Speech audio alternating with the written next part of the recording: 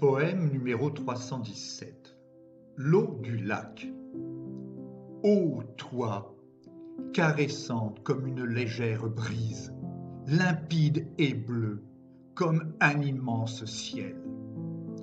À te savoir, onde revigorante, sans aucune prise, j'adore quand tu glisses sur ma peau, providentielle. Providentielle, pareil au cours des choses de la nature qui, toutes, s'en vont et s'en viennent au gré des aléas du destin, sans songer à quelque pause, vite, que glace se craquelle et fonde et que printemps revienne. Revienne, miroitante comme une fine moire, à ta surface, irisée par les reflets des rayons du soleil, la fluidité de ton royaume aquatique, cher à mon âme noire.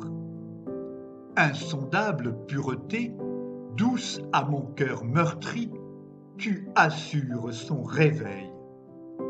Réveil de mes sens dès que je t'effleure, caresse sur mes chairs frissonnantes dès que je te pénètre, vivifiante, cachée entre montagnes et forêts, tu t'offres à mon corps, enchanteresse. Oh, que tu m'apaises, tranquille eau d'un lac imaginaire, dans mes rêves accueillantes.